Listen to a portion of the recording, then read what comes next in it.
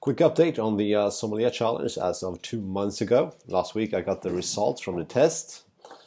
This is my license right here. Um, I only got 88% on the uh, exam, which I feel is kind of weak, and I, I'm kind of embarrassed about that one. But the license says uh, pass with distinction, which is the highest level of passing that you can get, so I'll take it. Also, this wine right here out of the uh, about 200 different wine I tasted during my uh, education. This is my favorite. Again, the bottle right here, Viña Ardanza. It's a uh, 2007 uh, reserve uh, from uh, Rioja, and it's mostly Tempranillo based. It's kind of not super easy to get. most store won't have this, but you can order it online. So if you're a red wine fan, try this one out. It's my favorite out of 200, so hope you like it.